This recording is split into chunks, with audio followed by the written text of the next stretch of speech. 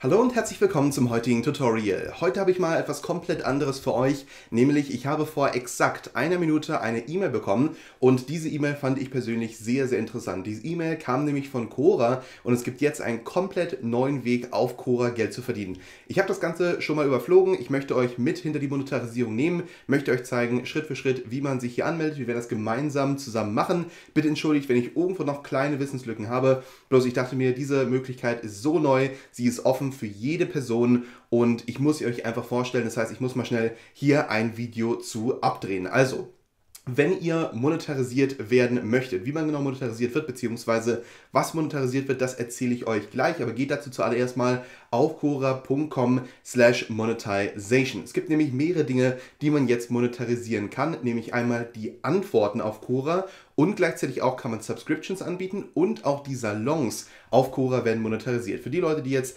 völlig, sag ich jetzt mal, sich fragen, was ist denn eigentlich Cora, wie genau funktioniert das Ganze und was sind Salons, was sind Antworten und so weiter und so fort. Ein kurzer Überblick einmal, nämlich auf Cora hat man halt die Möglichkeit, auf Fragen zu antworten. Zum Beispiel hier gibt es die Frage, can you share some screenshots that Worth und so weiter und so fort, Upvotes, okay, und dann könnte ich jetzt also darauf klicken, könnte anschließend dann auf diese Frage hier antworten und könnte dann halt mit dieser Antwort Reichweite aufbauen. Bisher konnte man nur Reichweite aufbauen, jetzt soweit ich ähm, das sehe, kann man auch Antworten monetarisieren, das heißt man kann mit Antworten Geld verdienen. Es gibt auch auf Quora die sogenannten Salons, dazu geht man einfach hier oben drauf, beziehungsweise, ähm, genau, hier wird es noch Spaces genannt, aber im deutschsprachigen Bereich sollte es eigentlich Salons genannt werden, deswegen gehen wir mal kurz auf den deutschsprachigen Bereich drauf. Und genau, da oben wird es jetzt also hier Salons genannt. Und ich habe zum Beispiel drei Salons erstellt. Das sind einfach nur so Beispielsalons, nämlich einmal Entdecke Berlin und dann Lehren und Lernen, Schule und Studium und auch den Salon Selbstvertrauen. Und was genau sind das also nun für, ähm, oder was, genau ist das? Wir können ja mal auf einen von diesen Salons draufgehen, zum Beispiel Entdecke Berlin, das hatte ich mal für einen Udemy-Kurs gemacht. Und in diesem Salon kann ich also nun Leute sag ich jetzt mal, versammeln, die sich für eine Sache interessieren. Und in diesem Salon kann man dann zum Beispiel Beiträge posten, man kann äh, Fragen teilen, man kann zum Beispiel mit Leuten chatten und so weiter und so fort. Und wenn ich jetzt zum Beispiel einen Beitrag hier poste, der anscheinend sehr populär ist und für den sich Leute interessieren, dann kann ich damit Geld verdienen. Schauen wir uns das Ganze einfach mal kurz hier auf der Monetization-Seite an. Nämlich hier steht Get paid for the perspective you bring, enable revenue, sharing or accept paid subscribe, uh, subscriptions to your content in minutes. Also an sich, sie sagen halt, your perspective is valuable, also deine Perspektive ist etwas wert. Take it at your own pace, das heißt, mach's praktisch so, wie du es gerne haben möchtest, wie ähm, auch vor allen Dingen du es gerne monetarisieren möchtest. Du kannst zum Beispiel, also zum Beispiel nur sehr wenige Artikel monetarisieren oder wenn du sehr oft postest, kannst du halt alles monetarisieren und man kann sich, wie gesagt, eine Following aufbauen und dann mit dieser Following auch Geld verdienen. An sich, ähm, was genau kann man also nun machen? Man kann einmal ähm, dieses Cora Revenue Sharing anschalten. Es gibt aber auch die Option Space Subscriptions. Nämlich Leute können zum Beispiel sich jetzt so ein Space hier nehmen und können sagen, okay, ich möchte Leute ich möchte, dass Leute dafür bezahlen, Teil von diesem Space zu sein. Das heißt, ich könnte zum Beispiel sagen, okay, wenn du in diesen Space hier reinkommen möchtest, dann zahle dafür 1 Euro pro Monat. Das heißt, stellt euch einfach so vor, wie zum Beispiel eine Facebook-Gruppe. Ähm, und für die Facebook-Gruppe kann man aber nur ein Geld verlangen. Sagen wir mal 1 Euro pro Monat oder 9,99 oder 19,99 oder wie viel auch immer. Und dann die andere Option, die ich persönlich sehr interessant finde, ist diese hier, nämlich Cora plus Revenue Sharing. Earn with subscribers on Cora Plus, read or engage with your content. Das heißt, wenn jetzt zum Beispiel Leute Teil von Cora Plus sind, was anscheinend so eine Paywall von Cora jetzt sein wird, ähm, und Leute zahlen praktisch für Cora Plus, so verstehe ich das zumindest hier. Ich könnte, wie gesagt, falsch liegen, aber soweit ich das verstehe, gibt es dann jetzt einen Premium-Plan bei Cora bald. Und wenn dann zum Beispiel Leute, ähm, sag jetzt mal, bei Cora Plus sind und zum Beispiel deine Antworten lesen, dann kriegst du halt dafür Geld. Und das finde ich persönlich sehr, sehr spannend. Wer genau kann ähm, seinen Content monetarisieren? Also grundsätzlich jeder kann seinen Content monetarisieren, wenn man so ein Space hat. Also zum Beispiel halt im Deutschen wird das genannt Salon, im Englischen wie gesagt Space. Um, ähm, und dann, what types of content are allowed for monetization? Welche Art von Content darf man nutzen? Hier steht, most answers and posts are eligible for monetization, except um, exceptions include content that is marked as adult, is promoted or whose subject matter is not permitted under. Mm, also praktisch alles, was jetzt nicht irgendwie, ja, adult Content ist oder dergleichen. Und dann noch darunter, what does it mean for content um, to be monetized? Und dann Content that is monetized may accrue um, earnings for the original author or the owner of the space that the content belongs to and may only be accessible to readers who have access as a Quora Plus subscriber or a Space subscriber. Non-subscribers may see a paywall when they encounter monetized content. Also ich stelle mir das Ganze so vor, wie auf Medium. Ähm, für die Leute, die vielleicht nicht Medium kennen, Medium ist eine riesen Blogging-Plattform und da gibt es einmal Medium und da gibt es alles hinter der Medium Open Paywall. Und ich kann mir Cora Plus als genau das vorstellen. Das heißt, man zahlt praktisch für Cora Plus etwas, dass man bestimmten Content einsehen darf und man zahlt, sagen wir mal, irgendwie 10 Dollar pro Monat.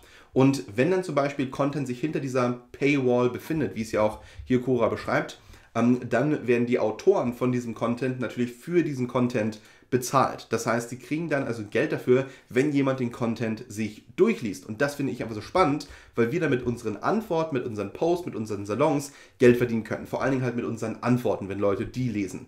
Und dann How do Payouts work? Ähm, dann Payouts follow a monthly cycle. If you accumulated earnings um, balance is $10 or more, at the end of the cycle, the full balance will be paid out to your Stripe account. If it is less than $10, the balance will roll over and continue accumulating until the next month payout um, payout cycle that is that that it reaches 10 Dollars. Also praktisch, okay, wenn man 10 Dollar verdient hat, dann wird es ausgezahlt via Stripe. Wenn man noch nicht 10 Dollar verdient hat, dann wird es einfach sobald ausgezahlt, sobald man halt diese 10 Dollar erreicht hat. Man kann hier nochmal auf den FAQ drauf gehen, kann zum nächsten Schritt übergehen und nochmal sich die ganzen Informationen hier durchlesen. Aber wie gesagt, Auszahlung erfolgt via Stripe. Einfach nur auf Stripe immer draufgehen, Konto anlegen, dann hat sich das Ganze. So zum Beispiel ist das bei mir. Und hier haben wir nämlich auch die Antwort auf die Frage, um, ähm, how much do people pay for the Cora Plus Membership? Und anscheinend sind das 5 Dollar derzeit pro Monat und 50 Dollar pro Jahr, wenn die Leute halt bei Cora Plus teilnehmen wollen. Ich bin mir echt gar nicht mal so hundertprozentig sicher, ob es überhaupt schon wirklich Cora Plus gibt. Müsste ich mal auf jeden Fall nachschauen. Aber ähm, genau, und dann How are Earnings calculated? Das ist vielleicht auch nochmal ganz interessant. Nämlich, nämlich Earnings are um, proportionate to how many, um, how many paying Core Plus members read or interact with your paywall content. Additionally, you'll earn a referral bonus for every paying subscriber who signs up to Quora Plus by clicking through from one of your paywalled answers. Also wenn jetzt zum Beispiel eine Person meine Antwort liest und von dieser Antwort auf anscheinend ähm, den Quora Plan kommt und dort kauft, kriegt dafür eine, eine Referral, also kriegt dafür ein bisschen Geld und natürlich jede Person, die diesen Quora Plus Account hat und anschließend dann meine Antworten liest, da kriege ich auch dann pro gelesene Antwort anscheinend Geld. Ich denke, das wird ganz genauso sein wie bei Medium, nämlich dass zum Beispiel Leute Betrag X an Cora zahlen. Cora sagt dann, okay, ein Teil davon wird ausgezahlt an die Autoren und wenn jetzt zum Beispiel eine Person, sagen wir mal, nur als Beispiel, 3 Dollar werden von den 5 Dollar aus, ähm, ausbezahlt und eine Person liest nur eine Antwort pro Monat, dann würde ich halt die ganzen 3 Dollar bekommen. Wenn die Person aber, sagen wir mal, 100 Antworten liest, dann würde ich gerade mal 3 Cent bekommen. Also dass es praktisch proportional dazu ist, wie viele Leute ähm, tatsächlich äh, oder wie viele Antworten die Person tatsächlich gelesen hat. Und jetzt ist natürlich der Moment gekommen, wo wir uns mal anmelden. Ich habe mich noch nicht angemeldet. Ich habe, wie gesagt, die E-Mail vor einer Minute bekommen. Deswegen gehen wir einfach mal kurz hier auf Get Started drauf. Müssen zuallererst unser Land auswählen, Germany, klicken auf Submit. Jetzt können wir eins von unseren Spaces nehmen. In meinem Fall, das sind meine englischen Spaces. Nehmen wir mal als Beispiel vielleicht German Language Block, den würde ich jetzt hier draufklicken. Anschließend dann haben wir jetzt hier die Space Monetization Programs. In the next steps you will choose um, which programs you want to enable for your space, nämlich einmal Space Subscription, Core Revenue Sharing und Add Revenue Sharing. In meinem Falle, genau, würde ich auf jeden Fall auf Next gehen und könnte anschließend dann meine Space Subscription anstellen. Nämlich hier steht Space Subscription, offer a paid subscription directly to the followers of your space. Das heißt einfach nur sowas wie bei Patreon, sage ich jetzt mal. Wir können einen Monthly Price und einen Yearly Price setzen, dann auch welcher Content hinter der Paywall sein soll und dann auch nochmal die Subscriber Fees, das heißt wie viel Geld ich zum Beispiel haben möchte. Ähm, hier nochmal die ganzen Informationen, welchen Content ich monetarisieren darf. How does paywalling work? For each edible piece of content, you'll have the option to monetize it with a strict paywall or an adaptive paywall. Okay, both options will accrue earnings for your. Okay, sehr interessant. Schauen wir uns vielleicht nochmal kurz diese Adaptive Paywall an. Was genau ist das? Hier steht, Adaptive Paywalling is ideal for space owners who would like to balance um, to balance earning on exclusive monetized content while continuing to grow their audience among potential subscribers, while a conventional paywall blocks access um, to monetized content in every situation. An adaptive paywall uses an algorithm to de determine whether to grant or block. Okay, sehr interessant. Es geht also praktisch darum, dass eine Adaptive Paywall, und das ist mir auch ganz neu, dass eine Adaptive Paywall manchmal anscheinend Content umsonst rausgibt und manchmal ähm, Content halt hinter eine Paywall stellt, während eine ganz normale Conventional Paywall, so wie, wie sie es hier schreiben, einfach den gesamten Content, sag ich jetzt mal, hinter eine Paywall packt. Oder hier nennen sie es auch Strict Paywall, eben gerade nannten sie es, glaube ich, genau, Conventional Paywall. Also in diesem Falle Strict Paywall bedeutet alles hinter einer Paywall ähm, und Adaptive Paywall bedeutet, dass manchmal bestimmte Posts hinter einer Paywall sind, manchmal aber auch nicht und dass ein Algorithmus halt sagt, okay, äh, der Post ist hinter einer Paywall oder halt auch nicht. Genau, und dann gehen wir hier noch ein bisschen runter, dann How are Earnings Calculated, das haben wir eben gerade schon gesehen. Hier aber nochmal ganz interessant, noch ein paar weitere Infos, nämlich with a space subscription, you'll set a monthly and yearly price that subscribers will pay to access content from your space. You'll keep 95% of subscription revenue minus Stripe payment processing fees 2.9% plus 30 cents per transaction. Also 95% erhält man von den Subscription Revenue das ist ja mal fair. Also holla die Waldfee. Gut, 95% dementsprechend ähm, natürlich noch 2,9% plus 30 Cent müssen wir abziehen. Wenn wir also jetzt zum Beispiel eine Subscription haben, die sagen wir 10 Dollar kostet, würden wir insgesamt erstmal 95% natürlich davon bekommen. Also 9,50 Dollar, 9 Dollar dann minus 2,9% wären wir bei ähm, praktisch 91 ähm, Dollar, genau 92 Dollar und 10 Cent minus 30 Cent. Das heißt, wir wären bei 91 äh, Dollar und 80 Cent, die wir schlussendlich als ähm, Gewinn auf 100 Dollar tatsächlich haben würden. Dementsprechend bleiben insgesamt 91,8% als Revenue übrig und das ist natürlich eine schöne Sache. So, in meinem Falle müsste ich jetzt hier unten auf Enable Now klicken. Ich kann natürlich aber auch hier auf Skip this Program klicken. Natürlich müssen wir jetzt hier nochmal die Earnings Terms of Service durchlesen und das ist auch immer so eine Sache, die ich auf jeden Fall nochmal mir anschauen würde. Nach was ich vor allen Dingen mal gucke, ist dieser Teil hier, nämlich Ads Revenue Share und alles, was mit dem Thema VAT und Taxes zu tun hat. Deswegen gehen wir einfach mal kurz hier auf Suchen, geben mal kurz den Begriff Tax ein und da werden wir sehen, dass es insgesamt 10 Übereinstimmungen gibt und wir gehen einfach mal diesen Teil hier durch. Nämlich hier steht Net Ad Revenue. Wir kriegen anscheinend einen Teil des Net Ad Revenue. Und das bedeutet less any charges, uh, chargebacks, refunds, credit cards und so weiter und so fort. And less applicable taxes to be paid to local. Das heißt, soweit ich das jetzt sehe, ich bin natürlich kein Jurist, ich bin kein Steuerberater.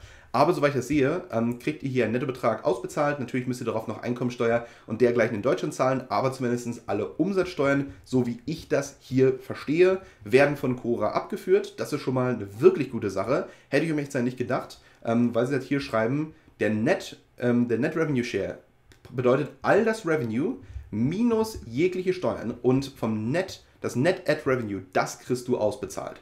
Hört sich also sehr gut an. Gehen wir vielleicht noch ein bisschen weiter runter, schauen uns das Ganze nochmal im Detail hier unten an, nämlich Cora Plus Revenue Share. Das ist also nun das, wo man ähm, einen Teil von diesen 5 Dollar bekommt. Und hier steht auch nochmal, means the total revenue actually received by Quora from the end users, less any applicable taxes. Das heißt, so wie ich das sehe hier, führt auch Quora für uns jegliche Umsatzsteuern ab. Hört sich also sehr, sehr gut an. Und auch hier wieder, und das ist der letzte oder einer der letzten Punkte, ähm, nämlich hier steht auch wieder Core Space Subscriptions is a program where Quora will pay you the net space subscription revenue if you participate und dann wieder less any applicable taxes. Das heißt, die führen auch wieder, soweit ich das sehe, alle Umsatzsteuern ab. Und auch hier, you are solely responsible for reporting and paying any applicable taxes in connection with any revenue you may earn from your um, participation in the earnings program. Okay, alles gut. Und äh, dann gehen wir nochmal eins nach unten, nämlich Identification, okay, wir halten also, wenn, wenn Cora einen Fehler machen sollte, dann halten wir sie in Accordance mit diesem, äh, von, von jeglichen Problemen halten wir sie fern, aber gut, das machen die meisten Plattformen, um sich abzusichern. Hört sich also alles richtig, richtig gut an. Und jetzt in meinem Fall könnte ich also hier auf Enable Now klicken. Ich weiß jetzt nicht genau, ob es so smart ist, auf Skip This Program zu klicken, weil ich einfach nicht unbedingt jetzt mein Space monetarisieren möchte, aber machen wir es einfach mal, Skip This Program. Dann haben wir jetzt hier Cora Revenue Sharing, nämlich Earn Money from Views on Content you uh, reserve for Cora Plus subscribers who pay $5 per month or $50 per year for access to content from participating um, spaces and creators. Okay, hört sich gut an.